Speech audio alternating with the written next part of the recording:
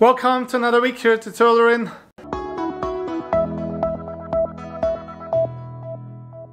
Thomas and I are working on the attic this week. We are trying to do some of the electrical Cat 6 cables and um, I have two more of his brothers here that are helping downstairs in the first two floors to clean up a little bit, um, get all the tools in one spot and then maybe next week we can sort through all of them and get kind of that whole area cleaned up for the next steps.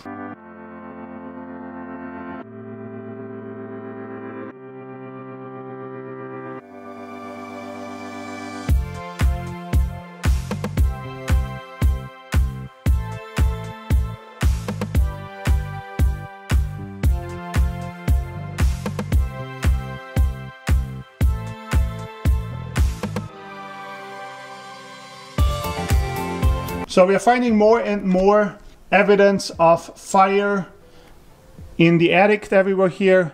Doesn't matter where, we just open the walls and we find burned sections. But most likely what happened is the entire roof was burning and they replaced the majority of it. Um, all the things that were still in pretty decent condition, they probably left it.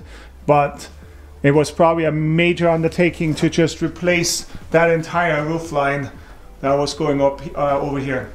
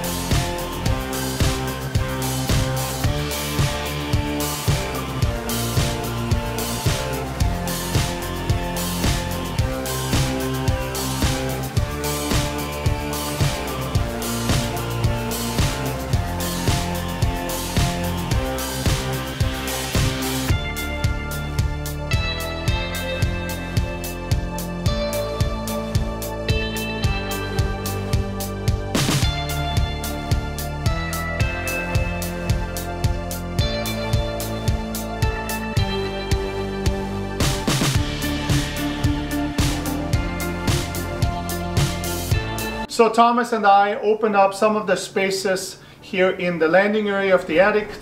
Uh, we took the walls that were leading into the loft out mainly because there were so many walls in it, uh, so many holes in the wall that needed to be fixed and so when we drywall over it it's not going to be all nice and flat so that's the first spot, first reason. And then second reason, we still wanted to figure out where we want to run electrical. And then when, when we actually open it up, um, Julie and I thought that potentially we might want to change our plans a little bit for the loft and uh, game, room, game room area.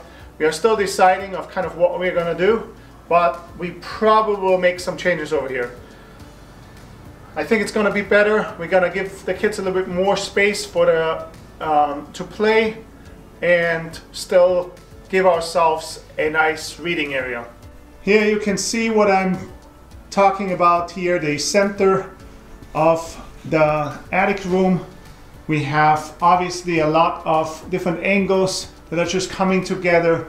So most likely we're gonna put a small little flat spot there in the middle, maybe a foot by a foot uh, wide, just enough to install a ceiling uh, chandelier box and then we go from there. The other option is, of course, we just go from left to right or from top to bottom here a, a beam that would hold the chandelier too, but we're not sure.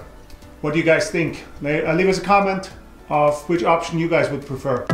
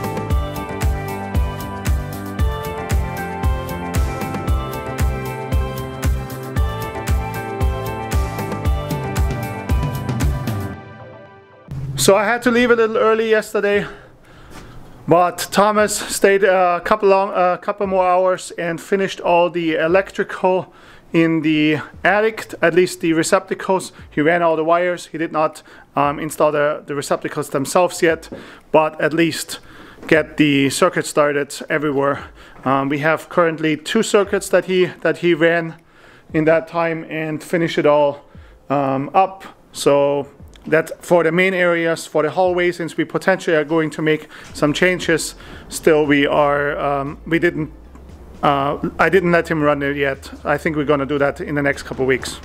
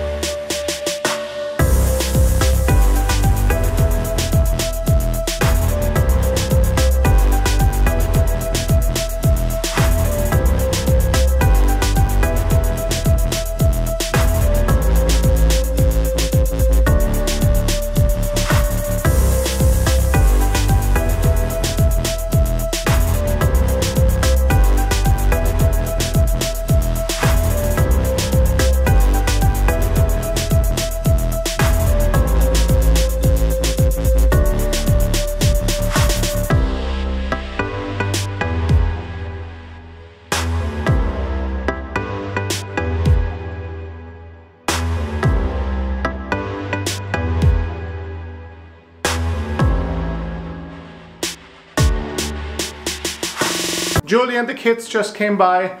We talked a little bit through the layout in the attic so that the next couple weeks I can do the lighting and ceiling modifications that we have to do to obviously attach lighting where we want to put the lightings. So one of the things that we will probably change is in the bathroom right over here, we are adding a ceiling that is flat to make it easy on us we really don't need to have all these different angles in the bathroom over here um, in our, since it's just a master bathroom. So we're gonna make a nice flat ceiling where we can attach lighting on them. Then, for example, in the closet, we are going to use track lighting along the angled walls because then we can point it in all different directions and have wonderful, uh, have great light um, in the uh, in the closet where we really need it, especially when you're looking for the right clothes and stuff like that. So it's obviously gonna be nice um, there. And then the chandelier in the middle, we are trying to figure out exactly how we wanna install it. There's kind of two options of either doing a beam, kind of an exposed beam that just comes through um, the middle and it's gonna hang off of that, or we make a small little flat spot for the chandelier to mount on in the top area. I'll show you guys here in a second. So we are kind of leaning towards the flat area um, because it's less intrusive and also makes it be more Victorian style.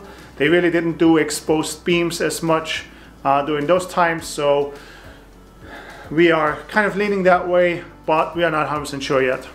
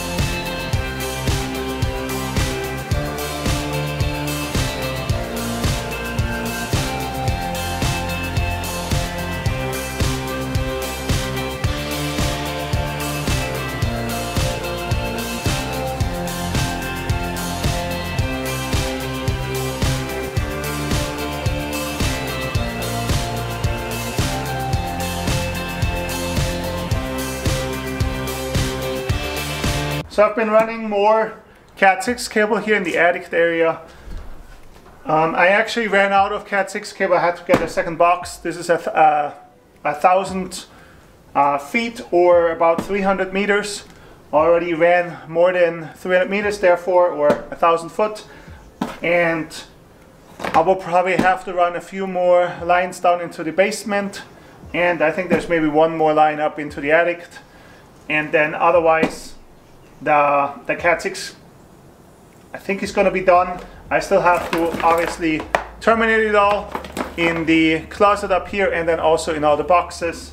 But I might do all some of that stuff later. I'm going to text, test it all, but I don't think I'm going to actually run, um, finish terminating it all when before we put the drywall in.